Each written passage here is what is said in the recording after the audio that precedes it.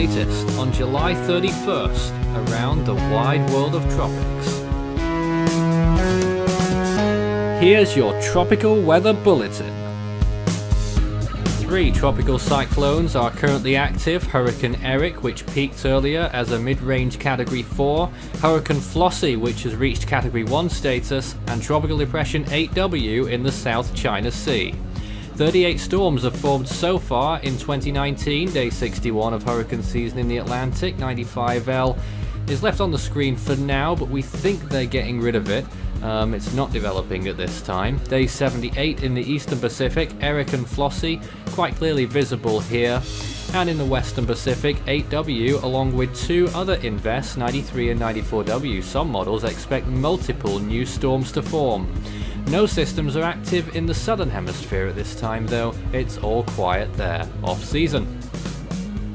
The top story is Hurricane Erick, which still has winds of 130 miles per hour and a pressure estimated of 949 millibars, peaking earlier according to Force 13 SATID with winds of at least 140 miles per hour. It's 787 miles from Hawaii, 13.7 north, 144.6 degrees west. The storm has a short window of intensification still, but whether it does anything more or not remains to be seen. By late Wednesday, it will start to weaken, and as it passes Hawaii, it could be really capitulating by then, and will hold on to tropical storm status, we think, until the weekend. It should miss Hawaii though, I should add. Hurricane Flossie has winds of 75 miles per hour and a pressure estimate of 987 millibars. This is much further out in the ocean, 594 miles from Isla Clarion, Mexico, 12.9 north, 121.8 west. It's to the east of Erick, uh, and we'll be following it on the on its course west-northwest. Um, either of the storms could go on to affect Hawaii. Flossie has probably got a better chance of delivering inclement conditions there. Just to point out, because I didn't before, Erick does still have the potential to deliver up to 6 inches of rain to Hawaii, and Flossie could add to that total next week. Tropical Depression 8W is pictured here in the South China Sea, winds of 35 miles per hour, pressure 994 millibars, pretty low pressure because it's very broad, 235 miles from Macau, 18.8 north, 114.6 degrees east. This system is expected to progress towards the northwest and probably become a brief tropical storm this Wednesday into Thursday. It will then weaken as it enters the Gulf of Tonkin and then filter into Vietnam by the weekend and uh, be dragged towards the southwest. One or two models give it maybe a brief life in the Indian Ocean as well, remains to be seen. Here's visible imagery of Erick today. It's been looking fascinating and amazing, really, the uh, imagery that we've been looking at here. Um, you can see how well it's been looking. A small eye it was, 9 miles. And an eyewall replacement cycle is now underway and its intensity has dropped off a bit from our earlier estimate today. Wind shear is uh, moderate, 15 to 20 knots. Here's the North Atlantic, 95L, if it's still a thing, is somewhere over Puerto Rico. Uh, further east though, in the far eastern Atlantic, you can see an area of interest there with rotation, uh, low latitude now, passing southwest of the Cape Verde Islands, um, and that could become a tropical cyclone in the next week as it, as it approaches the Lesser Antilles. In the Gulf of Mexico, some thunderstorm activity occurring on the coast of Texas. Erick and Flossie are pictured here in the eastern Pacific. You can see both the systems here, both hurricanes now. Uh, Erick, you can quite clearly see, unless there's a massive turn towards the north, will end up missing Hawaii. Um, but again, the rainfall on the northern side of the storm could strike the Big Island in particular, but chances of tropical storm conditions are very low indeed.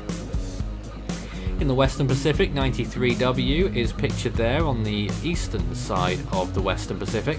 That could develop into a tropical cyclone that probably won't affect land. 94W could also develop another area of interest near the Philippines to the east, and Tropical Depression 8W is likely to develop into a tropical storm. Another area of interest down there to the southeast of the Mariana Islands, which could also develop too, believe it or not. The Australia and South Pacific region looks like this, uh, very little activity currently going on at the minute, it's all in the Northern Hemisphere. The Indian Ocean equally quiet really and you can see some influence from 8W on the very far right hand side of the screen but over India and Pakistan things looking very, fairly quiet, the odd thunderstorm or two. Sea surface temperatures in the eastern Pacific are pictured here. You can see uh, one or two little cold streams there, uh, which is where those two storms have been. Erick right now I think is still over 27 degrees Celsius waters. That will continue pretty much over its whole path for the next three or four days. The Atlantic warming up very nicely, 30 degrees plus in the Florida, Cuba, Bahamas region, and in the Indian Ocean temperatures still around 28 to 30 degrees in general. Look how warm they are in the western Pacific though, 30 degrees plus there as well, um, and that extends all across that area which could be ripe to explode in the next few days with tropical cyclone activity. Here's some floater imagery of Hurricane Erick. You can see how the eye has been shrinking in those later frames. Not only that, it's been getting shallower as well because a new eye wall has been coming in to replace the old one. Uh, it wasn't going to last particularly long with a 9 mile wide eye, I suppose, uh, but a new one will probably appear fairly soon. How well it does in that eye wall replacement cycle would be key to whether it still has an opportunity to intensify a little bit more. Hurricane Flossie, not yet exhibiting a clear eye on visible, uh, you can still see a lot of uh, convection attached to the southwestern side there as well, uh, but its structure is getting better, particularly in more recent frames, and I think we may well see that eye start to come out uh, later today. Tropical Depression 8W is still extremely broad here. Some models aren't developing it into a tropical storm.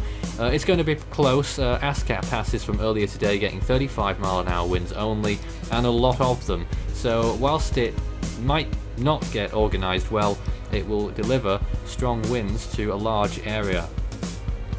The next name on the Atlantic naming list is Chantal. In the Eastern Pacific, it's Gil.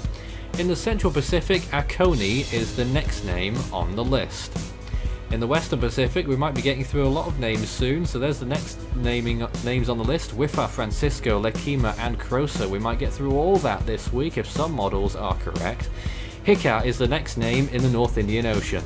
You can find Force 13's outlets Force 13, search uh, the website, force13.com, YouTube, search Force 13, subscribe if you haven't so far, and you can find us on Facebook and Twitter. Send a comment in if you like on any of those mediums, and we'll get back to you. That's all for now. Next Tropical Weather Bulletin tomorrow with updates in between. You can also help the project become even better by becoming a patron. You can see more information about all the benefits involved by visiting patreon.com forward slash force13. With a special thanks to these people for being our most valued patrons this month. You can also check out our growing merch store so you can show Force 13's colours wherever you go. You can also find a link to our Discord server underneath this video in the description.